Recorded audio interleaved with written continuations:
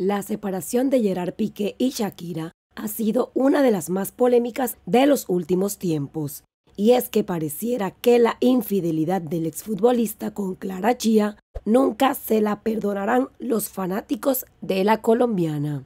Este 30 de julio se llevó a cabo la fiesta de la final del campeonato de fútbol de la Kings y Queens League. Muchos creían que esta sería una gran celebración, sin embargo, hubo momentos de tensión para el exjugador del Barcelona. En la fiesta había toda una multitud y de repente Piqué decidió subirse al escenario para agradecerle a todas las personas que han hecho posible su sueño con la Kingsley. Lo que no se esperaba es que todas estas personas empezaran a gritar el nombre de la madre de sus hijos. La cara y las expresiones del empresario fueron captadas por las cámaras de los curiosos y el video tardó segundos en publicarse en las redes sociales. Shakira, Shakira, Shakira, se escuchaba tararear a la audiencia. A lo que el novio de Clara Chia respondió al parecer molesto. ¿Y qué pasa? ¿Qué pasa? Me da igual. Soy campeón del mundo y vosotros no sois nadie, manifestó enojado y haciendo que el público reaccionara aún más.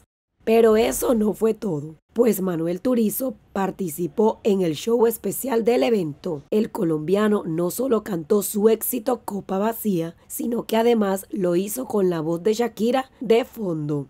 Actuó en vivo y en directo, pero respetó los espacios musicales del artista que sonó como si estuviera allí. La multitud se puso a gritar de emoción y se mostró feliz de escuchar a Shakira, independientemente de lo que haya pasado con Piqué, quien por supuesto allí estaba contemplándolo todo.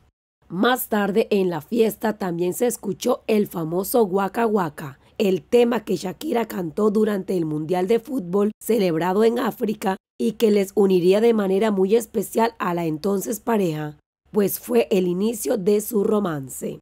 Recordemos que el video de Copa Vacía fue grabado en Barcelona, en donde, entre otras cosas, una rata se acerca a la sirena dolida, animalito que algunos adjudicaron a Piqué.